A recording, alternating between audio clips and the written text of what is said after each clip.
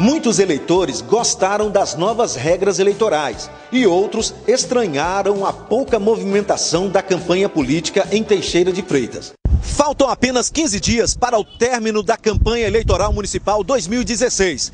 E se não fosse pelos carros adesivados, não saberíamos que estamos no final de uma disputa eleitoral. Não está sujando a rua, não está ficando muito cavalete, nem outdoor. Tá, tá bom. Parece que nós nem estamos num, num processo eleitoral tão sério, né? É, para um, um, um, município.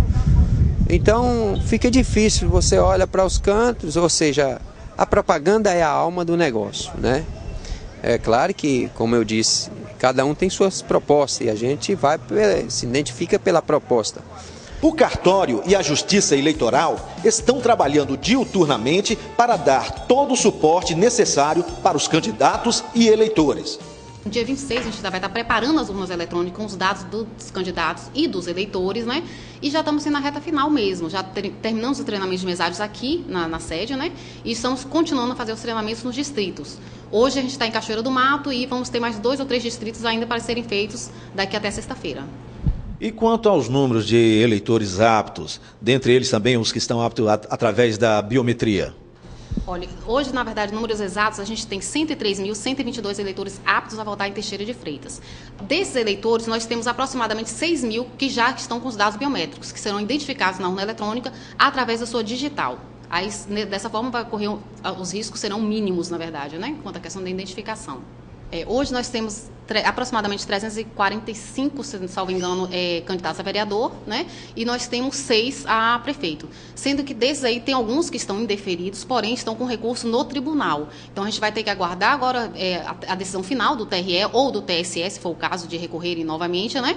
Para depois retornar para a nossa zona. Só que esses indeferidos que estão com recursos, eles vão para a urna eletrônica. Normalmente, nós geramos as mídias, inclusive, com eles, que nós estamos gerando hoje, e vamos fazer também a, a, a carga e a lacração das urnas com os dados desses candidatos. Posteriormente, depois das decisões, aí que nós vamos ver de que maneira que vão ser é, realizadas a questão dos votos, né? Para onde é que vai ser direcionado esses votos aí.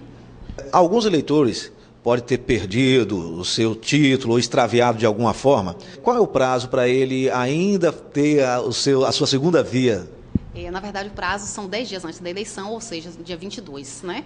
22 de setembro, a gente está é, para, para termina-se a emissão das segundas vias de título eleitoral. Mas o eleitor que não tiver com título eleitoral, se souber a sessão onde vota, basta levar um documento de identificação com foto, um documento, lógico, nacionalmente aceito. Então, carteira de identidade, habilitação, carteira de trabalho. Então, assim, esses documentos ele pode ir na sessão que ele vai votar e levar apenas o documento de identidade. Se ele não souber a sessão onde vai votar, basta que ele venha ao cartório eleitoral ou até faça consulta no site do TRE. No TRE Bahia você consegue consultar o local onde você vota. Basta que lance todos os dados na, na, nas, solicitados pelo site. Ou, na dúvida, vem no cartório eleitoral, verifica qual é a sua sessão, no dia da eleição vai na sessão e vota somente com o documento de identidade.